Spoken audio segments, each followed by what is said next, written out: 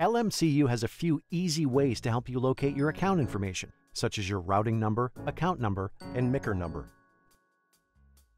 Log into the mobile app to find your account information. From the main menu, tap Account Info, then tap MICR slash routing number. Your routing number, account number, MICR number, and share IDs can be found on this screen. Lake Michigan Credit Union. You'll love banking here.